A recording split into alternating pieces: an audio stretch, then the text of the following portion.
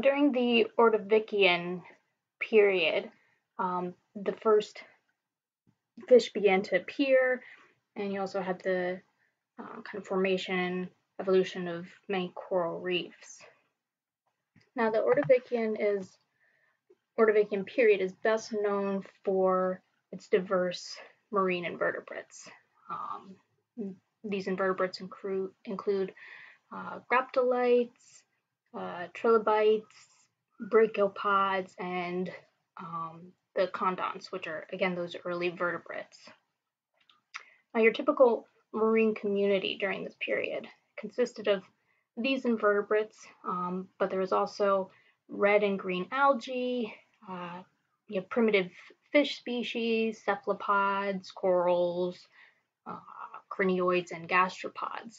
Um, with the primitive fish, um, the kind of group that we're going to talk about in a moment in particular were um, ostracoderms, which were these jawless armored fish.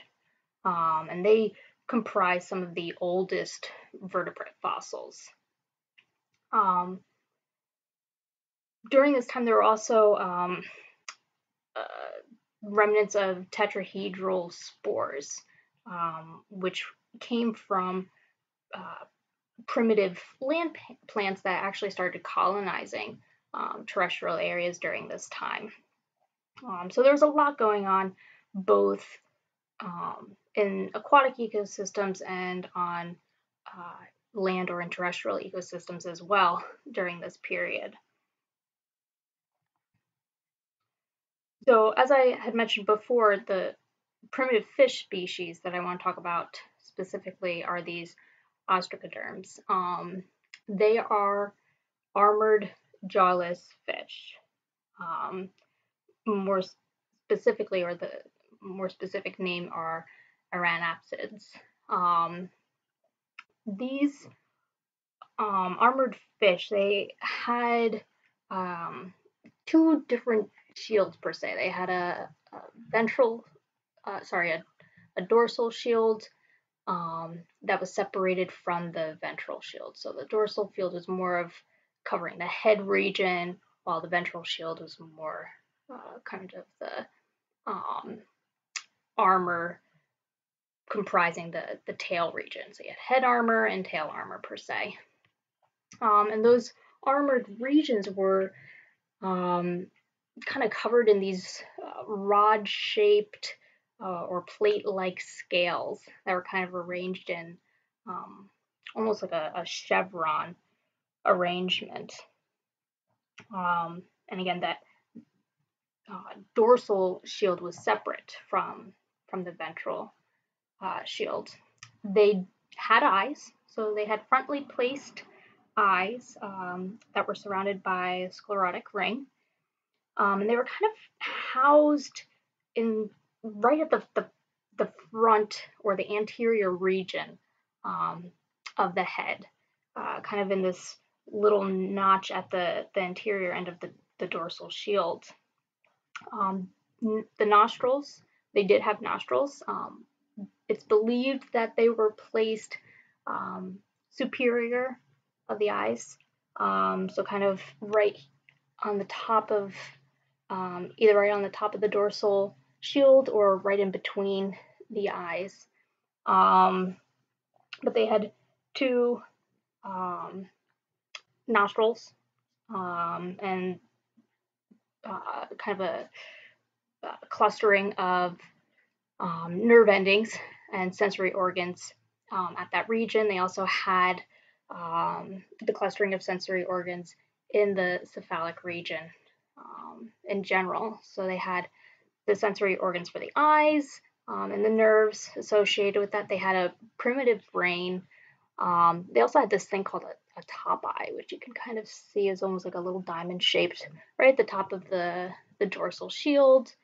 Um, the primitive spinal cord, notochord, um, and intestines.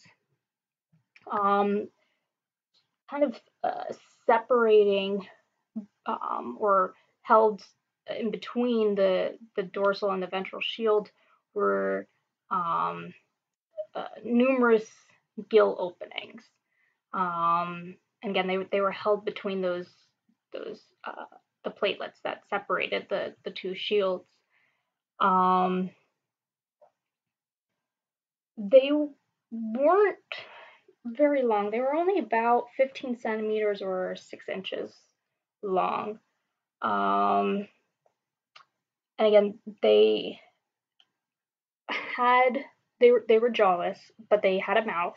It was just a small slit, um, and then most of the sensory organs um, or sensory lines were housed um, towards the the the front of that um, dorsal shield.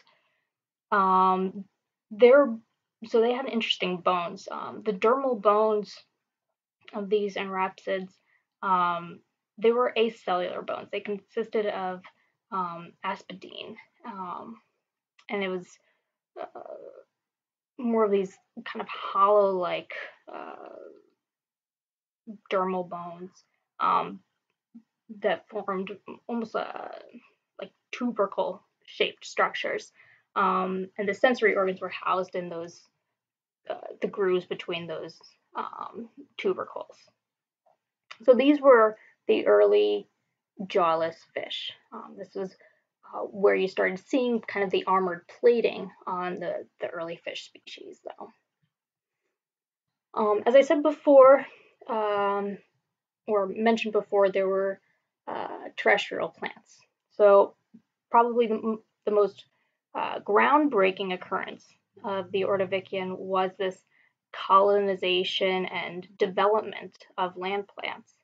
Um, these plants resembled small primitive plants like your liverwort species and other bryophytes.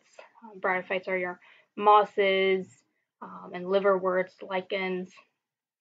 Um, they lived in moist areas and um, kind of what makes them or characterizes them as bryophytes is that they reproduce through spores, not seeds. Um, and as these plants kind of colonized onto the, the terrestrial environments and onto land, um, they added more oxygen to the air. So this was the continuation of um, kind of uh, adding extra oxygen to the air and taking out um, carbon dioxide. And that came at a, a price, per se, um, because the end of the Ordovician was, was characterized by a mass extinction event. Um, and part of that extinction event had to do with a massive cooling or rapid cooling period um, that was in in part, very, very small in part, due to the uh, kind of, again, the pulling of, of CO2 from the atmosphere, but it's actually more geologically related than, than atmospheric. But anyway, the mass extinction at the end of the Ordovician, um, that's one of the five largest extinctions in Earth history. Um, technically, it's we say one in five. Currently, we're in the sixth um, mass extinction. Um, but that's hasn't ceased yet. It's it's kind of ongoing. We're right at the beginning of it. Um, but anyway, so with this extinction event, um, approximately 85% of sea life was wiped out. Um, kind of breaking that percentage down, 60% of all marine invertebrate genre were wiped out, and then 25% of all families went extinct. So, really, again, massive extinction event. Um, and it appears to have occurred in several phases. Uh, the, the first phase occurred prior to the end of the Ordovician period, um, and that was due to a rapid cooling event. So, at the, the start of this, during the lower to middle Ordovician, um, the Earth had a mild climate. Um, the weather was warm and the atmosphere contained a lot of moisture. Um, but what happened was, as I mentioned in the previous lecture, um, Gondwana was throughout this period was moving southward, um, and it eventually settled on the South Pole uh, during the later part of this period. Um, and when it did so, massive glaciers formed and covered the surface, which caused water temperatures to cool. Um, so, mass glaciation event ensued. Um, now, the second phase of the extinction occurred as sea levels fell because of the onset of glaciation um, over different portions of Gondwana. More specifically, it was over the African South American portions. So these massive glaciers formed, and that caused shallow, sorry, shallow seas to drain and the sea levels to drop. So there was uh, this had the greatest effect on these shallow water communities.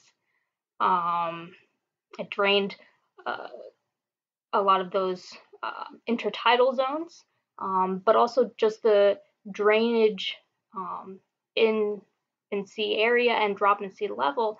Um, it ultimate, ultimately reduced the um, available habitats um, for the Ordovician organisms, um, particularly the, the organisms favoring these shallow communities. so that that's why these um, again, these these shallow, loving uh, organisms uh, were greatly affected. Um, but deep water organisms were affected as well because you had a shift in oceanic chemistry, um, changes in the sal- salination and desalination of the ocean, which shift um, the uh, ocean currents and the the thermal um, gradients in the ocean itself. Um, but uh, kind of what was selected for per se during this whole event were the, the cool water brachiopod fauna. Um, so they kind of invaded um, during this this interval of glaciation. They kind of invaded um, the the tropical latitudes. Um, so they were able to persist, which is uh, why they they held on through this period and into the uh, Silurian. Um, so that's the Ordovician, right? It's uh, characterized again in summary by the diverse marine invertebrates. You see the um, evolution and appearance of um, the uh, jawless armored fish, um, you have the first colonization event on land of, of plants, and then massive extinction events. So now we move into the Silurian period. Um, this period occurred from 443.7 million years ago um, to about 416 million years ago. Um, this was the third period in the Paleozoic. So remember, Paleozoic is, is comprised of six um, different periods. This is the third one. Um, so it followed the Ordovician and precedes Devonian. Um, during the Silurian period, um, you had a restabilization of the climate. So again, you had this glaciation event in uh, right at the end of the Ordovician, and then after that glaciation event, you had melting and restabilization of the climate. So the climate at the start of the Silurian period was generally warm and stable. Um, during this time, um, the continental land masses were, were relatively low, and because of the, the melting with the, the glaciers, the sea levels were, were rising. So again, you had uh, flooding events on um, low-lying continental regions. And this meant that, uh, again, rich, shallow sea ecosystems could form with um, new ecological niches and provide new environments um, for um, organisms to kind of occupy and differentiate into.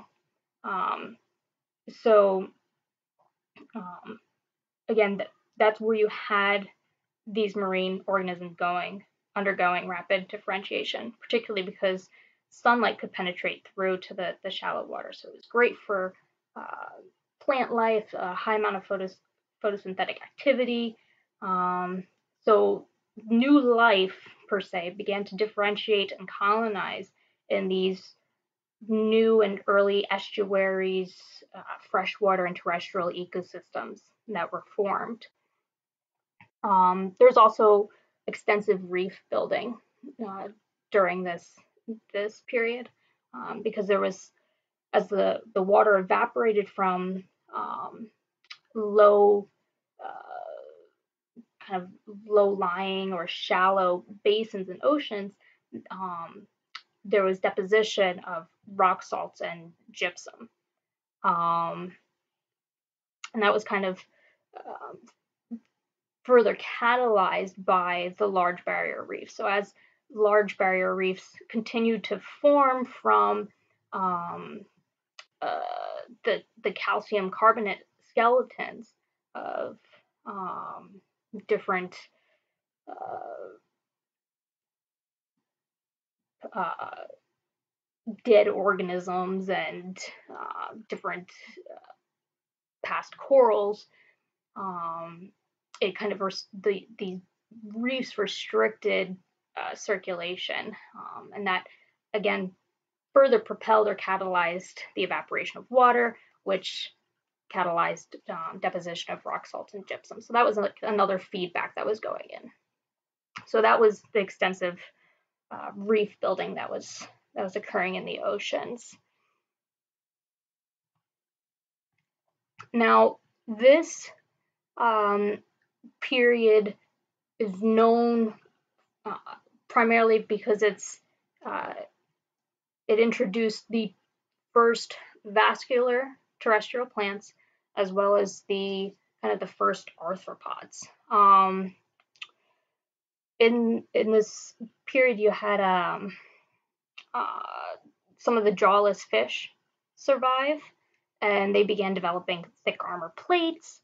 Um, so you had um, kind of the, the first class of, of jawless fish, um, uh, Agnatha, uh, become very dominant or, or common throughout the period. Um, also, you had the evolution of the first jawed fish.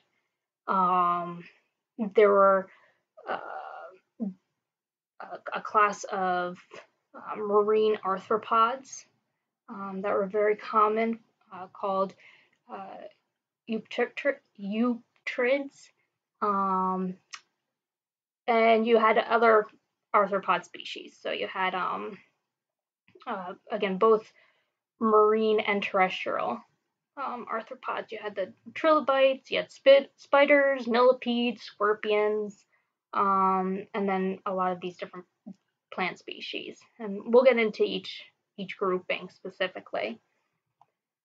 So starting off with these nasty looking guys. Um, these were the primitive armored fish um, with a, and they actually had a cartilage skeleton, and they were the earliest fish to have developed jaws. These are the placoderms. Um, the first species of these placoderms, um, or class Placodermi, was a species called uh, Romundina.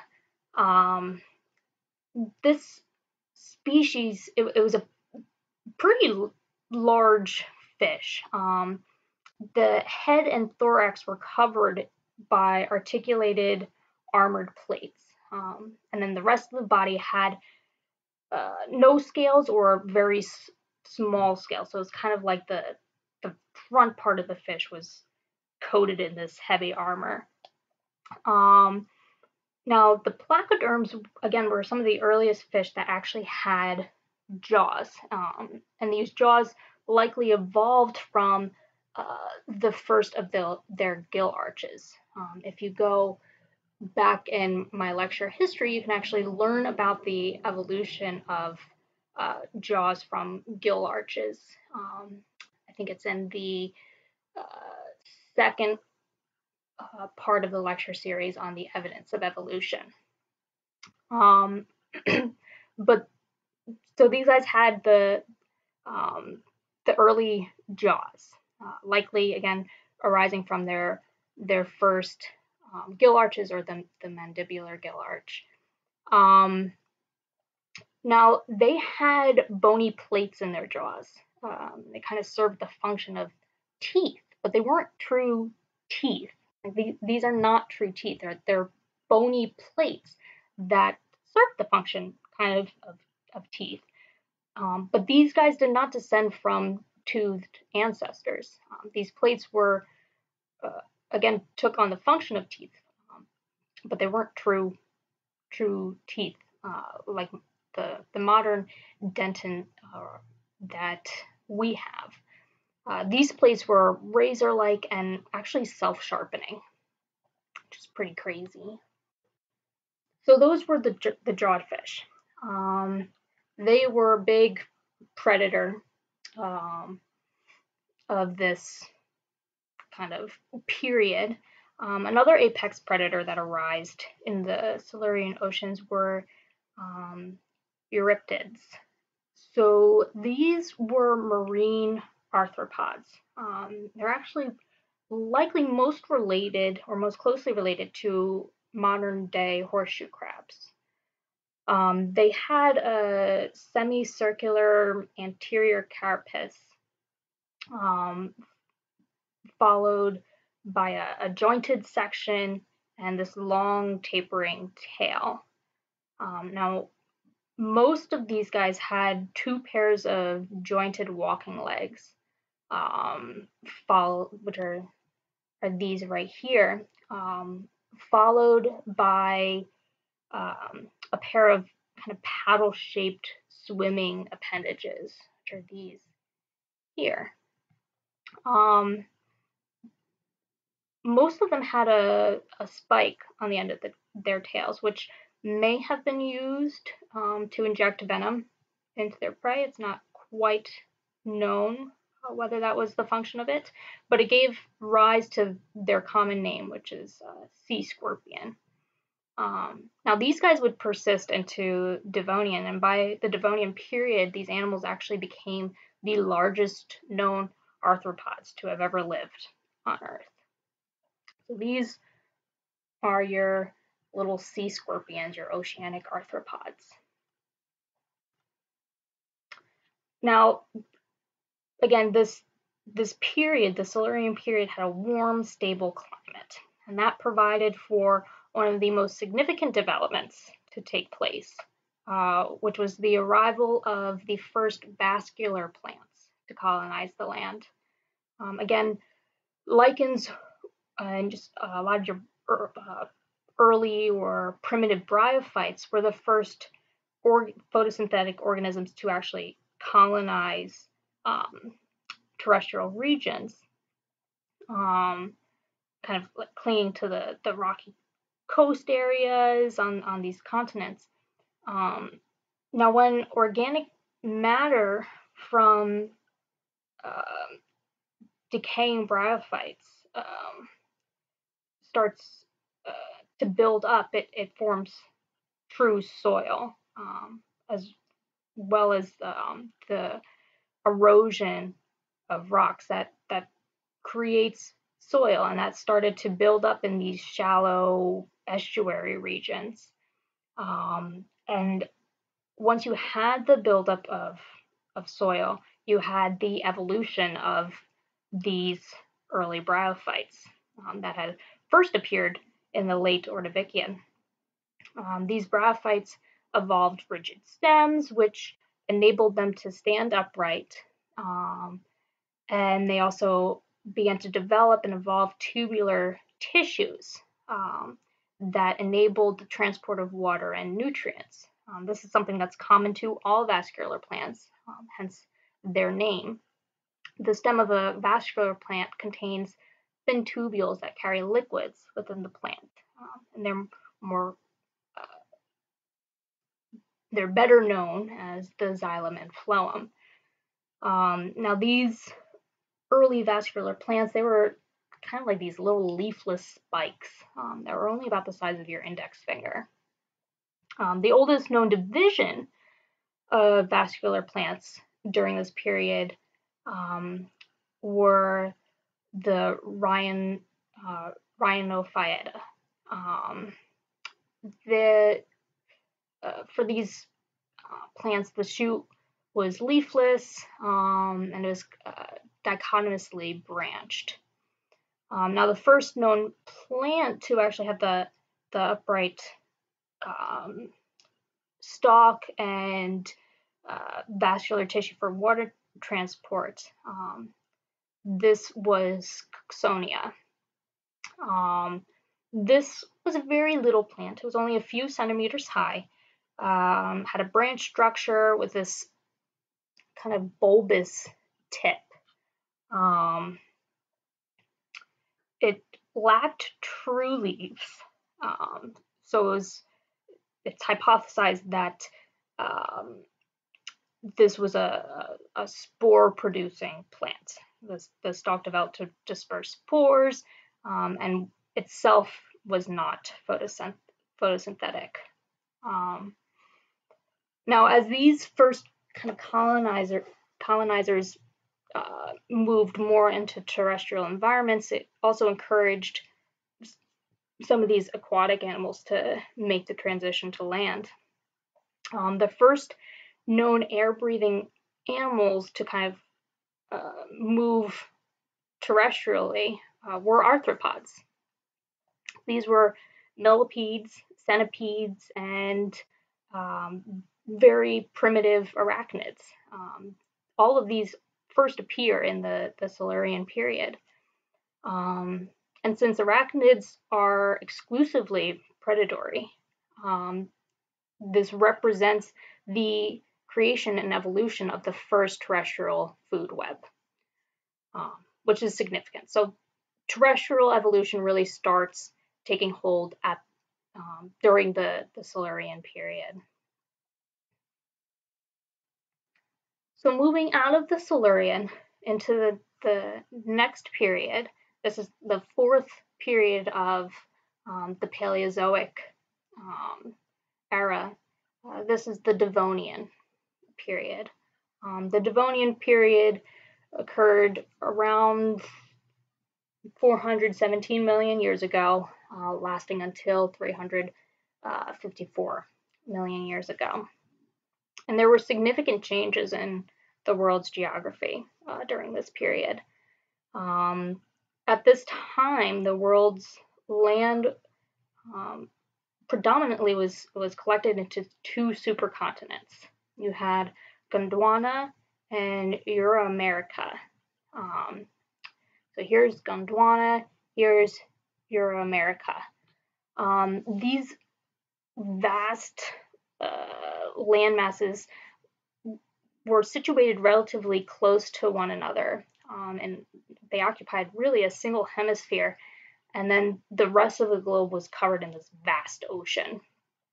Um, now the two continents, or the two supercontinents themselves, so here's again, here's Gondwana, and here's Euramerica, um, they were kind of surrounded on all sides by subduction zones.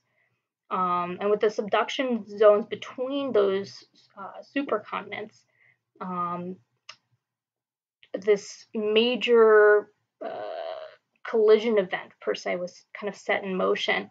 Um, and that event uh, would eventually bring the two supercontinents together, um, forming the single world continent Pangaea.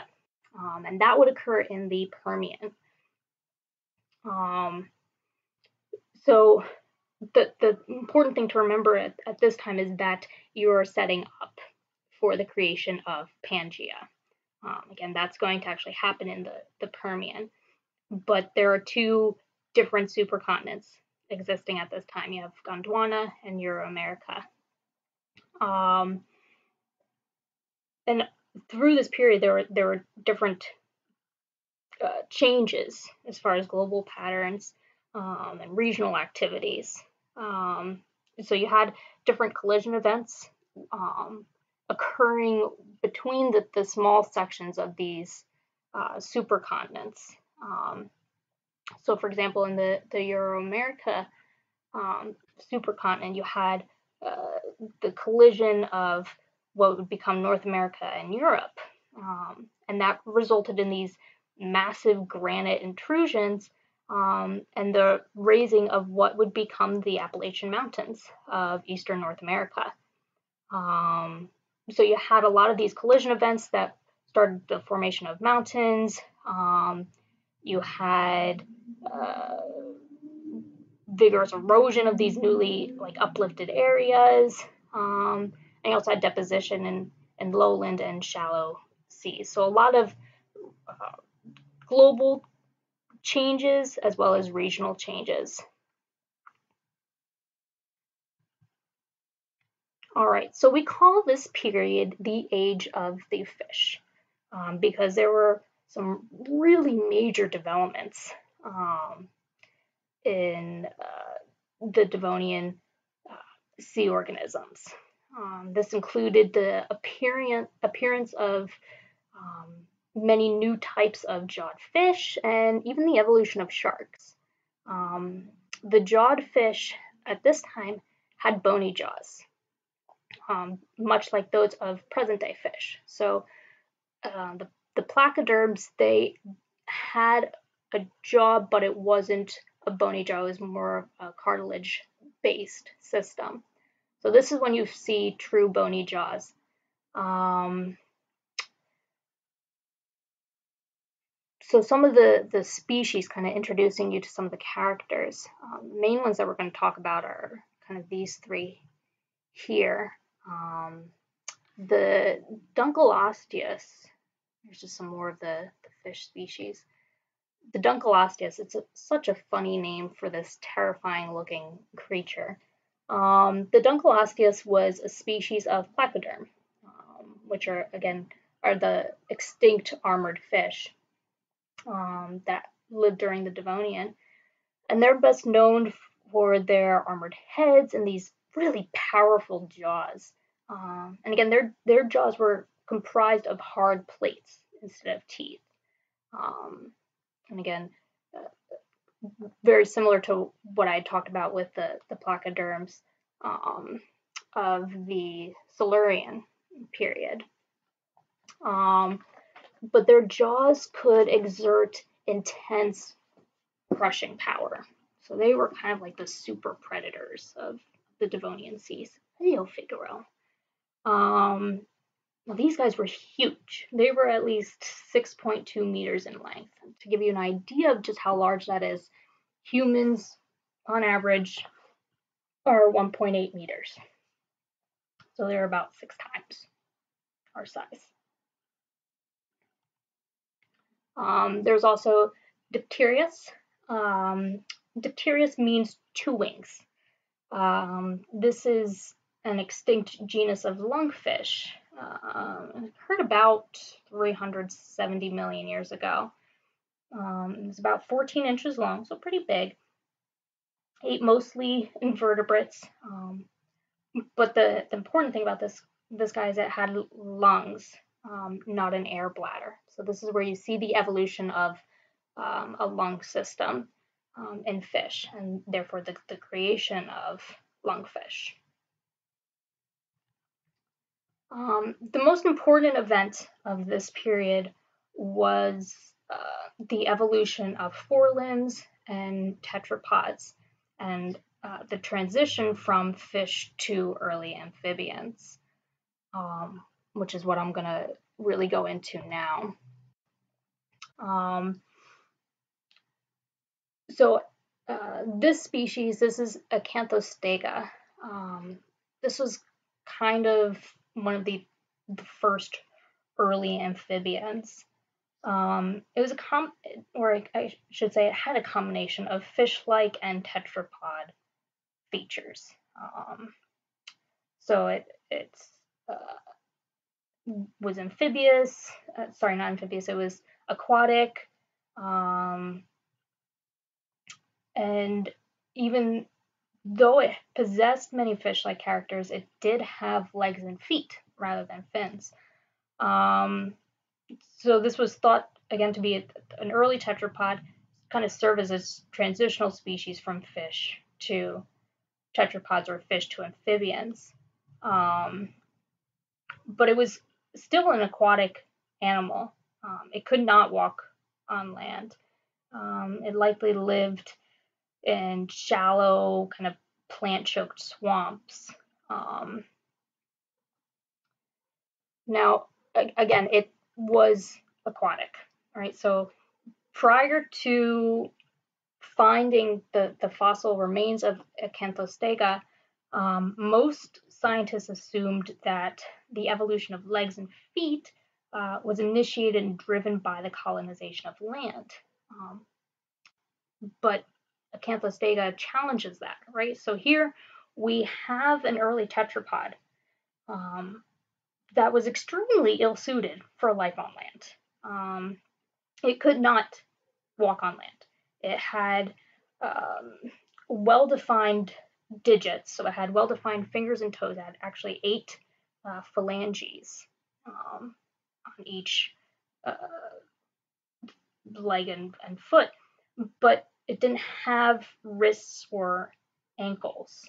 Um, it had relatively long limb bones, but they couldn't support much weight, um, particularly the, the hind limbs, um, because the, the hip was attached to the backbone. So its hip couldn't support much weight at all um, since it had that weak attachment to the spine.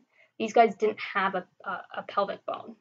Um, so it, it, couldn't have uh, good locomotion or movement of the legs. And again, uh, the legs weren't strong enough to actually support the weight of the body to allow them to walk on land. Um, but they were very good at swimming.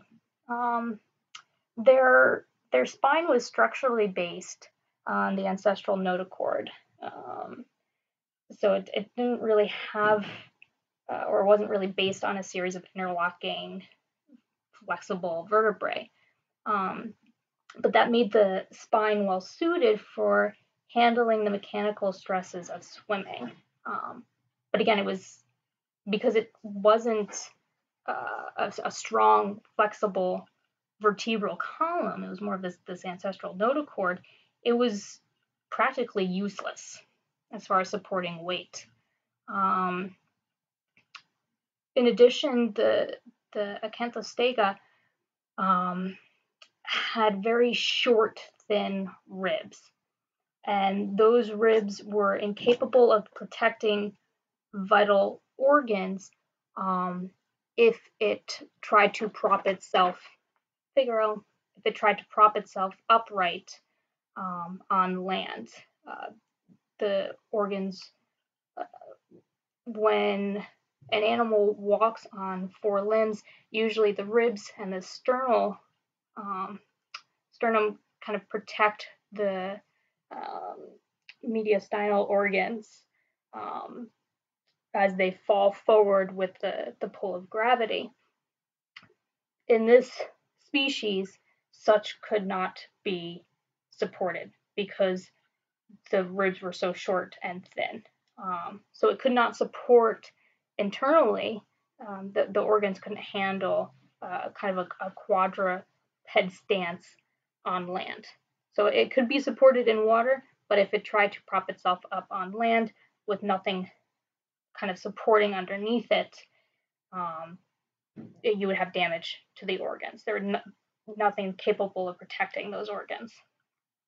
Um, it had a, a long tail, um, this really neat little uh, kind of feathered filament um, arising from the this uh, notochord region, uh, which served as this large bony fin.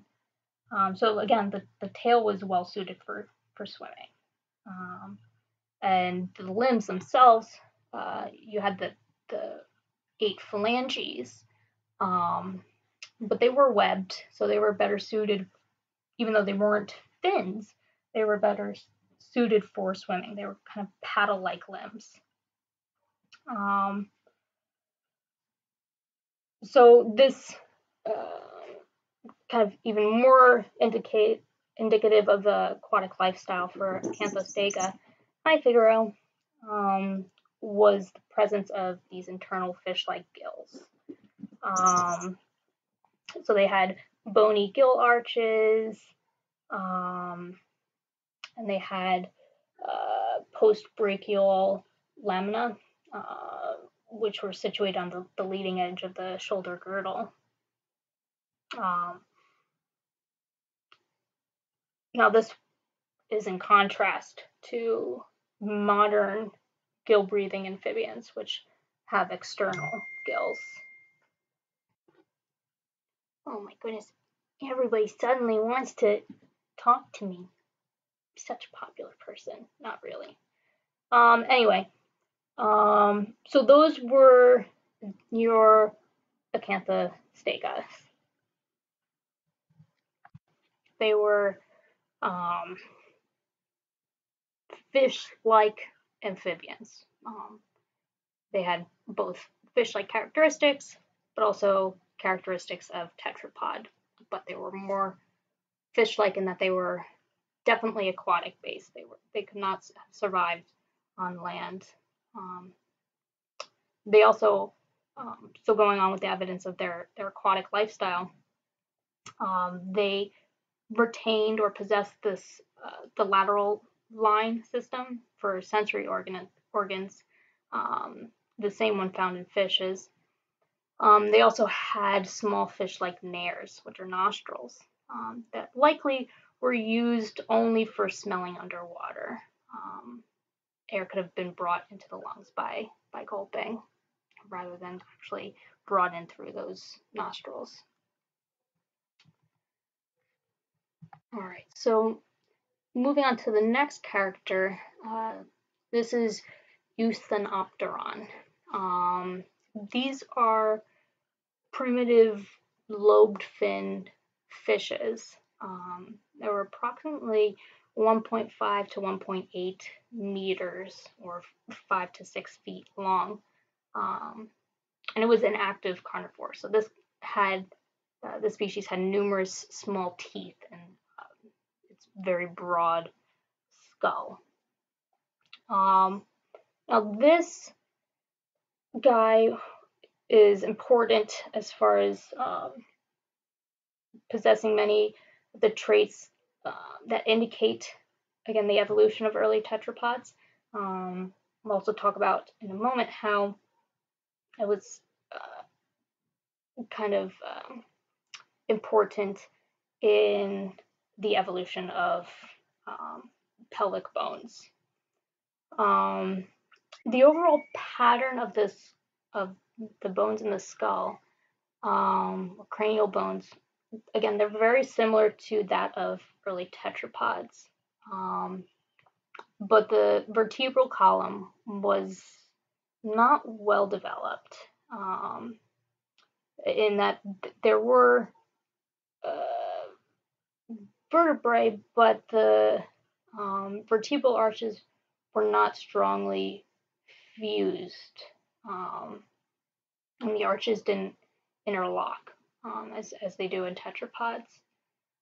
Um, the shoulder was still attached to the skull um, at this point, so you still had a fused shoulder girdle, um, but the hip girdle down here uh, was not attached to the vertebral column, um, but it was at this point very rudimentary.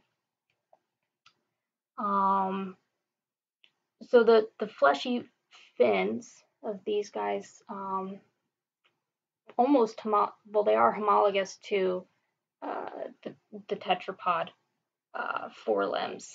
They had a series of stout bones supporting them.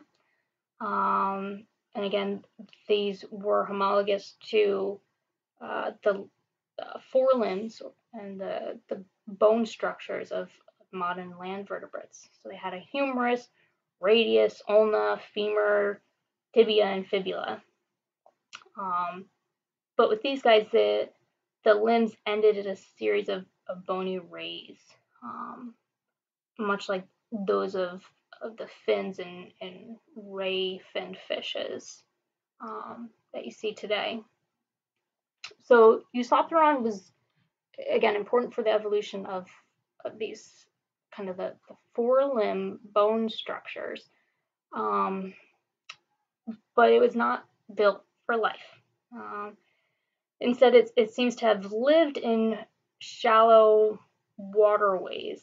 Um, that's where a lot of its fossils have been found, um, and would have lived kind of in these brackish waters where it could have kind of clambered among rocks and plants in search of food. Um, now, it could, interestingly, it, it, had two ways of obtaining oxygen. Um, could obtain oxygen by breathing it from the air with its lungs, um, or by absorbing it from the water through its gills. So it had gill slits and it also had lungs.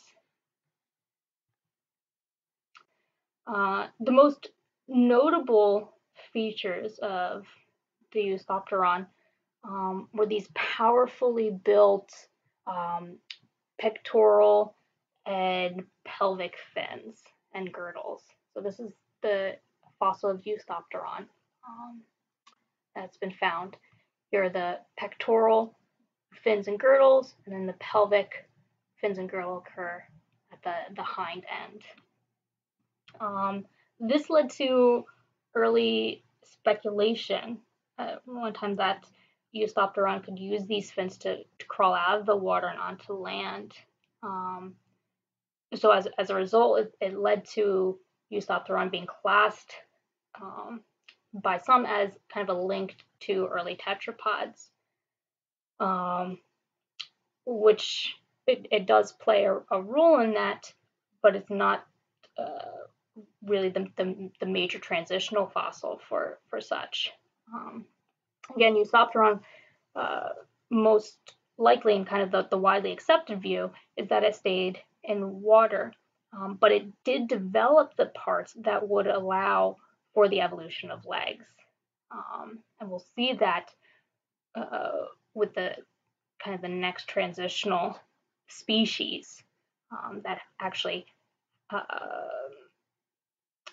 had further evolution of primitive legs. Um, so this suggests that the evolution um, of primitive legs arose from creatures that were still primarily aquatic. And um, these kind of were early adaptations that would then progress as they were selected for, as they enabled different organisms to move out of the water and uh, uh, occupy different niches that, that were available. Um, some of the adaptations that kind of continued uh, were these primitive fingers and leg joints um, that enabled uh, kind of navigation, but also uh, would serve useful for locomotion. Um, so again, Eusthenopteron is important because it presented um, and contained some of the features that would later become um, important and present in your terrestrial amphibians. Um, so as I, I, spoke of before, the, the, bones of the pectoral fins and um, pelvic fins. So they have um, similar uh, bone arrangements of modern day forelimbs. Um, they also had teeth, so the, the teeth displayed folded enamel like um, structures, and they had internal nostrils. So they're important again for because of their, their pelvic uh, fin and pectoral fin uh, bone structures, and that role in the evolution of the forelimb structure for um, early tetrapods. Um, now, for a while, again, Eusthenopteron was thought to be that, that major transitional species. Um, it is not. It's, it's one of the, the, the links in, in this transition but the, the major uh, transitional species that's, that's kind of quoted as the, the missing link um, is a, spe- a species known as um, Tiktaalik. Um, this is the kind of this halfway between Eusthenopteron and Ichthyostega. Um, it shares many characteristics of a tetrapod and a fish, so it's often called uh, fishapod. Um, it's it's really looks like it's half fish, half tetrapod. It's almost like this fish-like alligator per se. Um, it had uh, a big fin on the posterior aspect um, and half of its body. Had four legs um, and a, a, flattened head resembling that of a reptile. So, it looks almost like a little alligator here. Um, it also had gills, scales, um, and fins, uh, like a fish. Um, but it had a robust rib bones and a neck structure um, like tetrapods. Uh, this is actually the, the first species to have um, a movable or free neck. So this guy was able to move its head back and forth, up and down, because it was not fused um, or uh, the bones were not uh, fused with the skull uh, connecting to the, the vertebral column. Um, the front fins of Tiktaalik uh, were half fin, half leg. Um, the, the fossils show uh, functional uh, wrists. It was a, a rudimentary or elementary wrist structure. Um, they had elbows and shoulders, um, but they still had the kind of the the, the ray structures of uh, fish fins. Um, but again, you see the evolution and the strengthening of the pectoral girdle and the forelimb morphology of um, tetrapods. Um, so it's kind of, again, this movement from fins into legs, but it was a, a kind of a conglomerate of, of both. Um, they had uh, lungs and gills, um, and their ribs were imbricated, um, which means that they were able to support the needs of the lungs. Um, so these ribs could support um, internal organs and protect internal organs when held in a quadruped or held upright in a quadruped position. Um, so they uh, had, um, again, the significant um, evolution and, and, kind of innovation of pelvic support, uh, which was important for locomotion. Um, the discovery of the um, pelvic girdle and, and, fin material again made this species even even more uh, kind of set in stone as a transitional species and, and actually reveals a, a transitional stage in the origin of the pelvic girdle and um, appendages. Um, so it, it, retained aspects of the primitive skeletal arch- architecture, um, but also showed beginnings in the enhancement of, of size and robusticity, um, much like that which is seen in tetrapods. Um, the pelvises of the Tiktaalik, um, they are paired. Um, and again, they have these broad iliac processes, uh, flat and elongate um, pubes, uh, the acetabulae um, that form um, a deep socket. They're, they're there and they're rimmed by robust lip of, of bone. Um, so all of these components make the pelvis um, very, uh, it, it's enlarged, but it's also um, very similar to these features that you see in, in tetrapods. Um, but it, it, even with these advancements um, or adaptations in the actual pelvic girdle of Tiktaalik, um, there are still primitive features that are retained.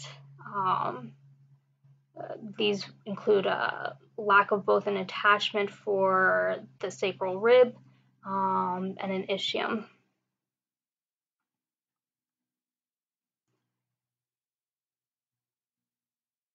Now, as I was talking about before, kind of the most uh, important and ex exciting thing about Tiktaalik is, is the fact that um, the fins are supported by a tetrapod bone structure. Um, they have kind of these morphed fin leg structures um, or appendages um, that contain the skeletal structure that's homologous of uh, tetrapod forelimbs. Um, so they have wrists, shoulders, uh, elbows, they have the um, humerus, radius, um, ulna, all these these structures that um, share uh, the complex bone pattern pattern of the, of the limb. Um, and as I, I also said before, it was it was uh, the first tetrapod uh, with a, a, free neck or a neck that can actually move freely on its own. Um, so that feature and the kind of the um, the jointed wrists, the lungs, gills, uh, that those all would allow this creature to to live in water, but also come up onto land and transverse on land or occupy land areas for short periods of time. So it, could, it, could, didn't solely live on, on land, it could come out of the water for short periods of time onto land. So that was this first, again, this transition uh, from aquatic ecosystems to um, occupying terrestrial habitats. So as I said before, the Tiktaalik is the, the transitional fossil. It's the in-between, um, kind of the transition between um, Eusthenopteron and another species called Ichthyostega. Um, Ichthyostega is a tetrapod which lived about 370 million years ago um, during the, the, late aspect of the Devonian period. Um, this guy was approximately five feet long, weighed about 50 pounds. Um, it kind of looks like a cross between a fat iguana and an alligator. Um, it's uh, again it thought to have been both uh, aquatic and then moving onto land for short periods of time. Um, so most likely it lived off a diet of uh, kind of um, small land lizards when it, it did occupy the um, land regions when it did come ashore.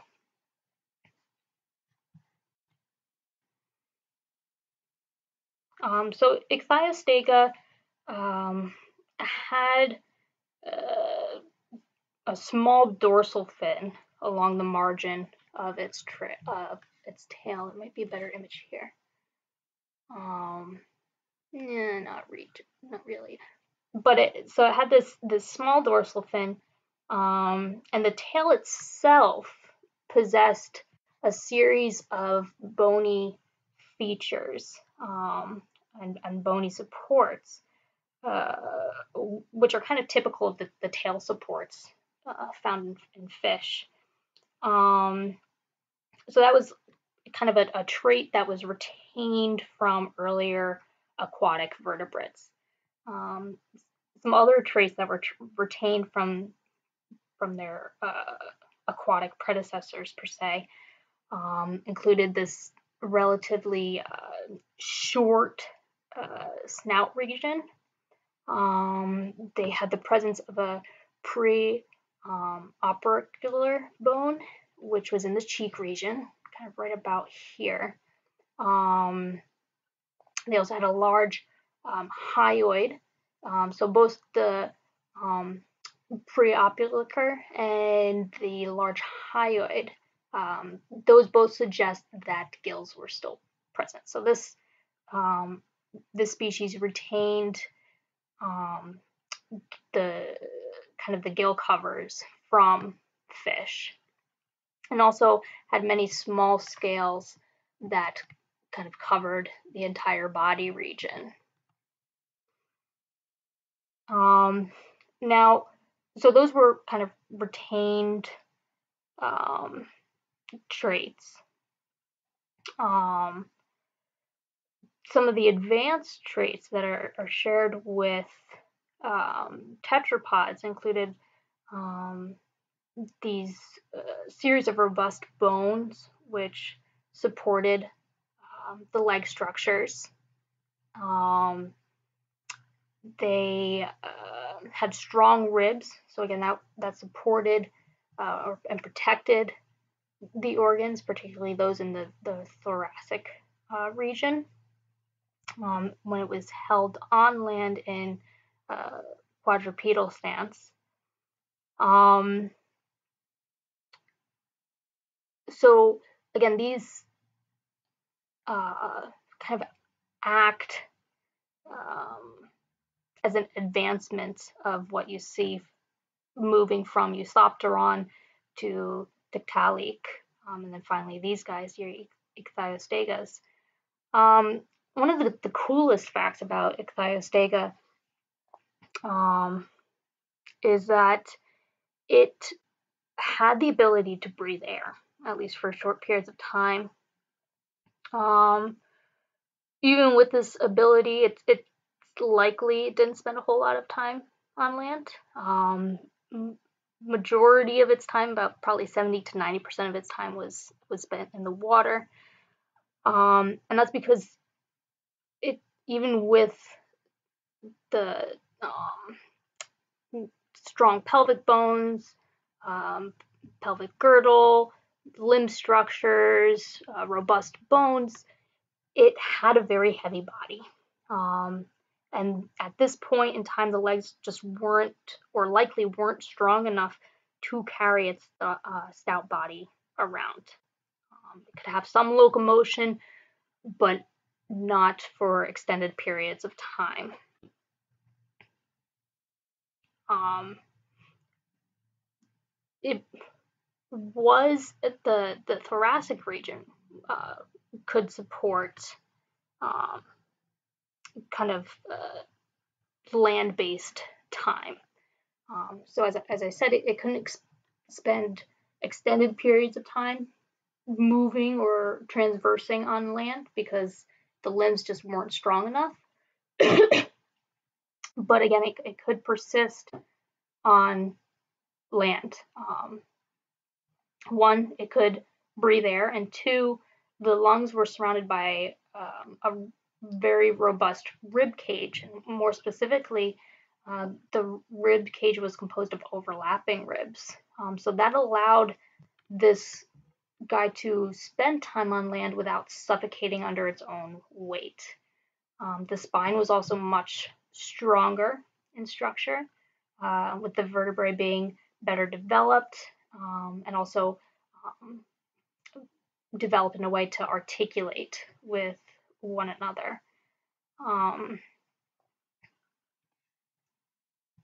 so that's kind of the, the anatomy of Ichthyostega. Um, it's possible that this guy uh, served as the base for rudimentary quadrupedal movement. Um, it's kind of debatable. I like to say that Ichthyostega movement was kind of the earliest form of modern day abdominal crunches. Um, when uh, the skeleton of this species was examined and reconstructed um, back in 2005, um, it was found that the the overlapping ribs uh, would have significantly restrained the kind of side to side walk expected for kind of the salamander like animal. Um, so in, instead, as a result, Ichthyostega likely had this weird kind of shuffle um, in which the legs um, moved, but the, the creature's torso was, was kept rigid um, or it used kind of an inchworm kind of crunch. So that's why I say it's the earliest form of abdominal crunches. You can see here both legs, uh, sets of legs, so the, the forelimbs and the hind legs come together. So you get this kind of inchworm-like kind of crunch, and then they separate out. Um, so simply, simply put, uh, your Ichthyostega, as far as moving on land, would have been pretty crappy and pretty pretty much rubbish on land. Um, so it it could have um, served a role in the the, the uh, as far as adapting or playing a role in the evolution that would then adapt the tetrapod uh, body plan. Um, it it's possible that it served for rudimentary quadrupedal movement. Um, it's, it's hard to say because again the structure of the, the ribs would have prevented um, the side to side kind of walk um, that you'd expect from from these creatures. Um, but they, it's possible that they could kind of um, scrunch up its its body um, and have a slight range of motion of the legs that I could kind of swing the legs from side to side. Uh, but that, that range of motion would have been very restricted. So likely it was more of this inchworm like kind of motion rather than the um, the quadrupedal shuffle per se.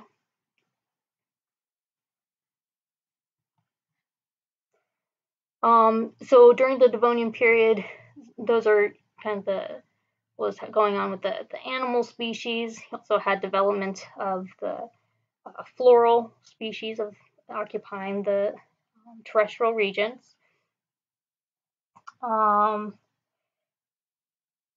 so these some of the the, the first uh, land flora uh, were these um, uh, pterids, um, and with this you see the development um, of a species called Rhynie. Um, these uh, were again some of the, the, the first land flora, um, and more specifically the the Rhynie chert. It's actually has exact morphological matches to living species. Um, so these were the kind of the, the plants that were developing at the, at this time. Um, you also um, had the arisal of fungal species. Um, more prominent were these um, prototaxites, uh, which were these huge, kind of thin dome-like plants that were about 26 feet tall. Um,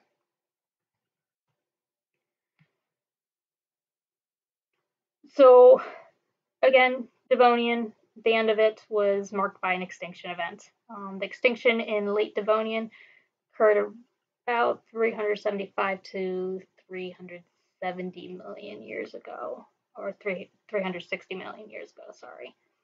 Um, this uh, was caused by widespread anoxia in ocean waters um, and global cooling. Um, and in this this extinction event, 50% of all uh, genre went extinct, uh, with the most effect being placed on marine organisms. Um, so it's uh, kind of evidence for this anoxic or oxygen deprived event um, is the fact that uh, the Devonian marine deposits um, are notable for the occurrence of um, uh, organic rich sediments uh, called black shale. Um, and that high presence in these, these low inland sea areas um, again indicate anoxic bottom waters um, during that uh, time of the, the extinction event. It's likely that these deposits uh, resulted um, because of increased organic matter and nutrient ports um, from the increased vegetation on uh, terrestrial landscapes.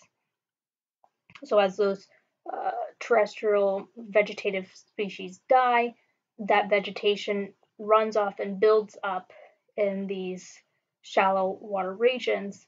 Um, and as they decay, it causes anoxia, um, or again, that oxygen deprivation because you have the buildup of different bacteria and algal species um, that kind of create a, a eutrophic um, shallow water environment. Um,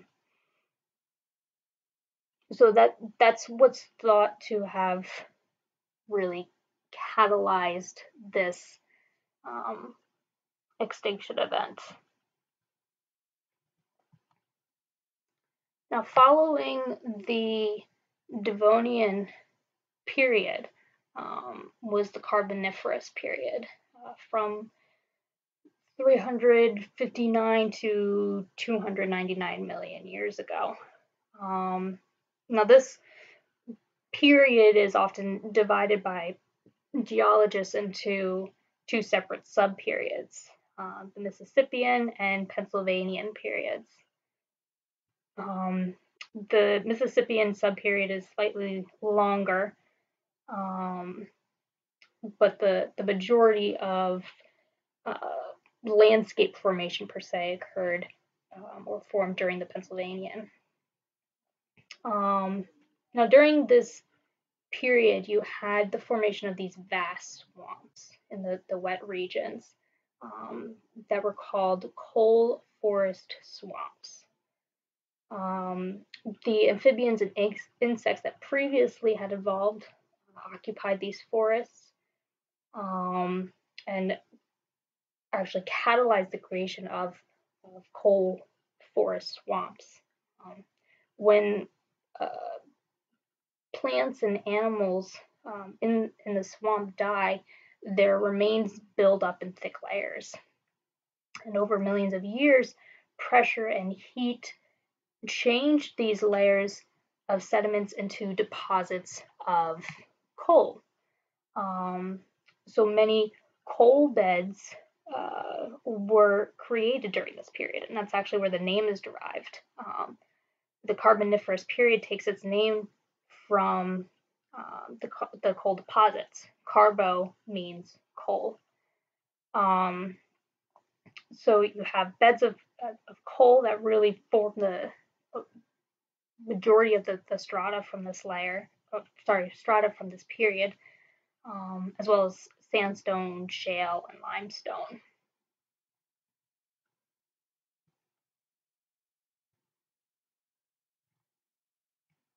Um, so during this period, uh, you had uh, huge growth of these uh, these swamps, um, and they were essentially equivalent to um, uh, kind of like modern rainforests.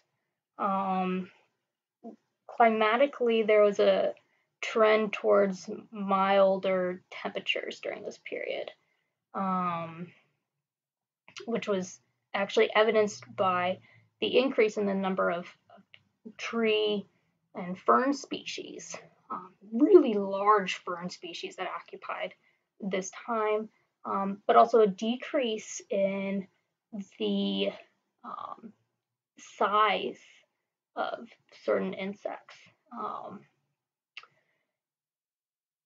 Also during this time there was a high concentration of oxygen um, in the, the moist environments, and that allowed for larger um, invertebrates um, on land.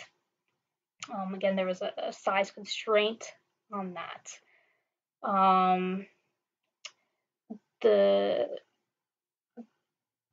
uh, swamps that that uh, kind of occupied the, the terrestrial regions again were almost equivalent to rainforests. Um, there were these huge fern species. They were basically fern trees um, that, that covered the, the landscape.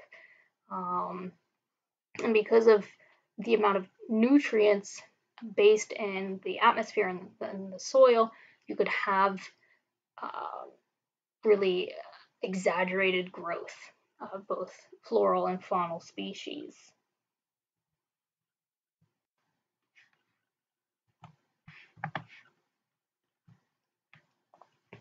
Um, now, the, the Carboniferous period was a time when it's kind of the, the time of uh, many firsts. Um, so it's when the first of many animal groups evolved. You had the first true bony fish, uh, some of the first sharks, the first amphibians, and the first amniotes. Um, now that's kind of the greatest evolutionary innovation of this period. Um, the amniote or amniotic egg, um, because this allowed for the further exploitation of um, land environments by certain tetrapods. Um, it gave the ancestors of modern day birds, mammals, and reptiles the ability to lay their eggs on land without um, risk or fear of desiccation. Um, now there were some pretty interesting species um, as far as your, your land vertebrates, um, even invertebrates um, occupying this era. Um, again, a lot of the organisms, um, some of them were not large in size, some of your invertebrates were very large. so you at this this period you had amphibians, and winged insects. They were very common. Um, but you also had the evolution of the first reptiles from um, early amphibians.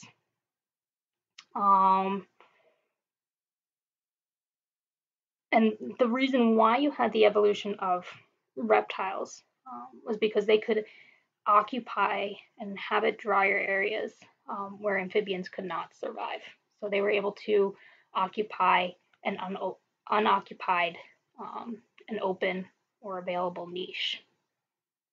Um, now, our actual understanding of life um, for kind of what was going on with amphibians during this period um, is complicated by what's known as the Romer's Gap, which is this um, 15 million year stretch of time um, where virtually no vertebrate fossils have been found or yielded.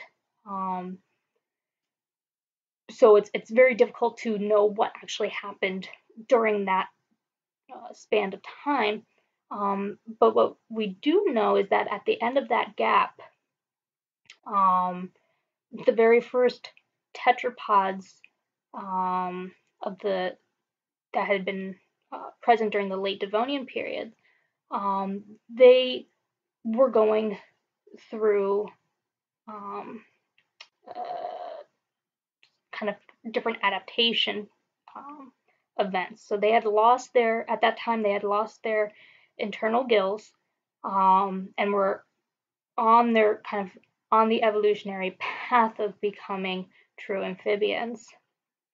Um, by the late uh, kind of um, period of the, the, the Carboniferous period, um, you had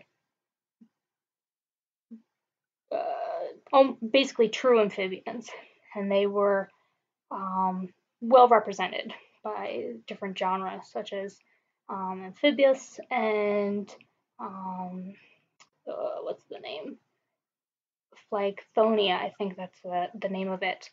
Um, and both of these genre, uh, again, like your your modern amphibians, they needed to uh, lay their eggs in water, keep their skin moist, um, so they, they couldn't venture too far out onto to dry land. Um, so that's where, or kind of what selected for the evolution of reptiles. Um, the most important trait that distinguishes reptiles from amphibians is their reproductive system. Um, the shelled eggs of reptiles are better able to withstand dry conditions. Um, so they don't have to be restricted to uh, kind of aquatic or moist environments um, because they don't uh, have to have the fear that their eggs are going to um, desiccate. Um, so the evolution of reptiles was spurred um, kind of by the uh, cooling, dry climate um, that appeared during the, the later aspect of this period. Um, one of the earliest reptiles that have been identified, um, called Hylonomus, appeared about 315 million years ago. Um, and then that was followed by the giant um, which was uh, about a few million years later. That guy was almost like 10 feet long. Um, so by the end of this period, you had kind of the, the evolution of the, the first reptiles. Um, they had migrated well into the, the interior aspects um, of the, the land areas. Um, and they would serve as the early pioneers um, that would then spawn into archosaurs, um, uh, pelycosaurs, uh, therapsids, um, all of those would uh, become present in the, the following Permian period. Um, and then the, those archosaurs would then go on to spawn the first dinosaurs, um, basically 100 million years later. Um, so those were your amphibians and reptiles. Um, as I said before, there were also uh, winged insects were also very common. Um, so you had a high presence of invertebrates during this time, and some of them were huge. Um, the Earth's atmosphere contained an unusually high percentage of oxygen during the, the late Carboniferous period. Um, in fact, it, it peaked at an astounding 35%. So this surplus was especially beneficial to terrestrial invertebrates, um, which uh, breathe via diffusion of air through their exoskeletons rather than the aid of lungs or gills.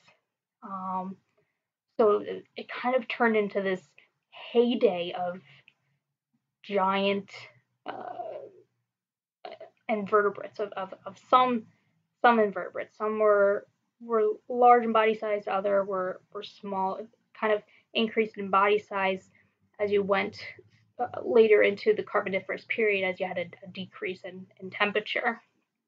Um, but to give you some examples, there was this uh, there was a, a giant dragonfly um, called Megaelnuria, um, and this had a, a wigs, wingspan of um, about two and a half feet, and there was a giant millipede um, called Arth- Arthropleura, um, and that was known to attain lengths of like 10 feet.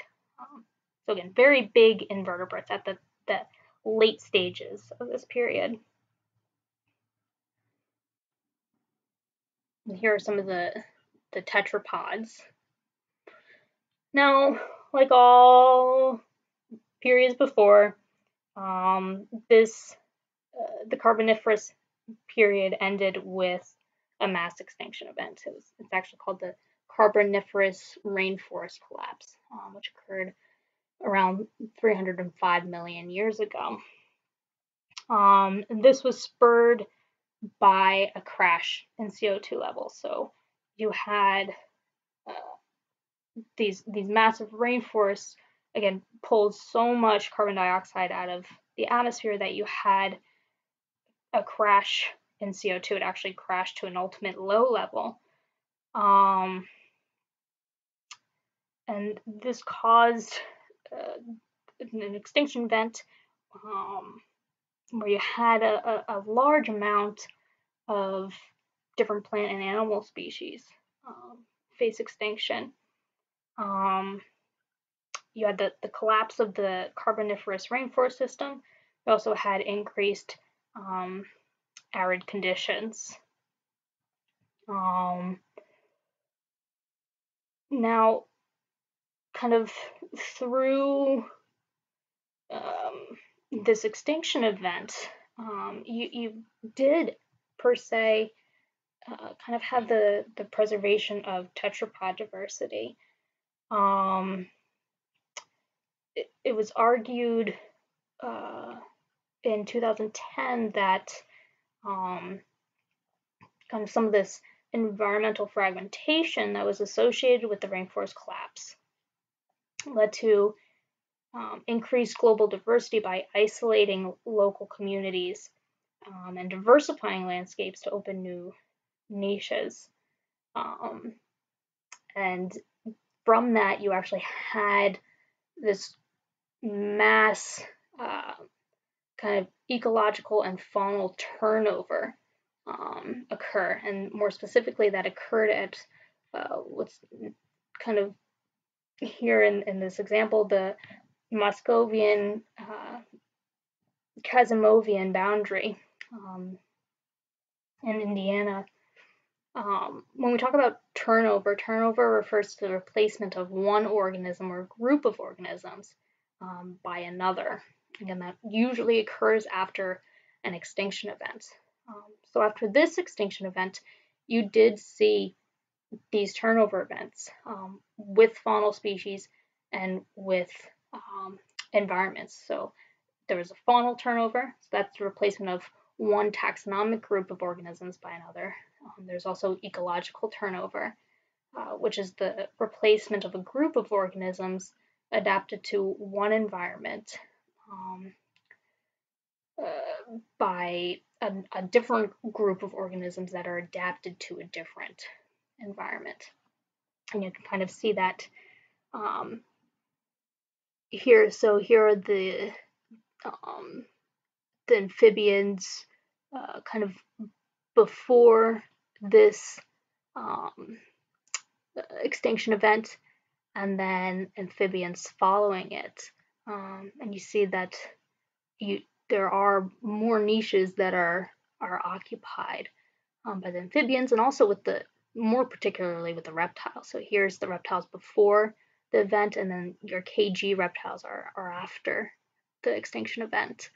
Um, so before then, they you only had small small uh, piscivores.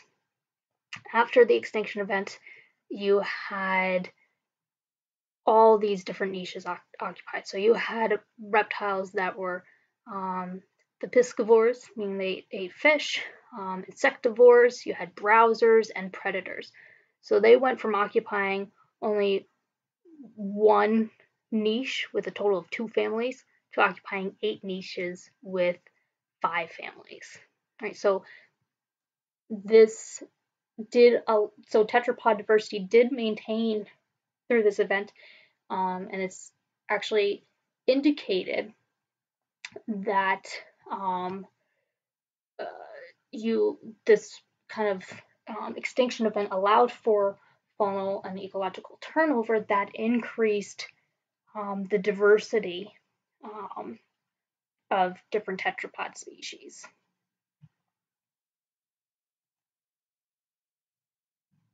So this again just maps out the, the first in evolution. Um, and then going into the, the Permian period, um, the climate was much warmer. Reptiles became kind of the, the dominant species. this was when you had the um, collision of um, Gondwana and Euramerica to form the supercontinent Pangaea. Um, this is also when you see the arrival of uh, kind of more hardwood tree species, conifers, ginkgos, and um, uh, some of the more of the the softwoods like your your ferns also um, evolve.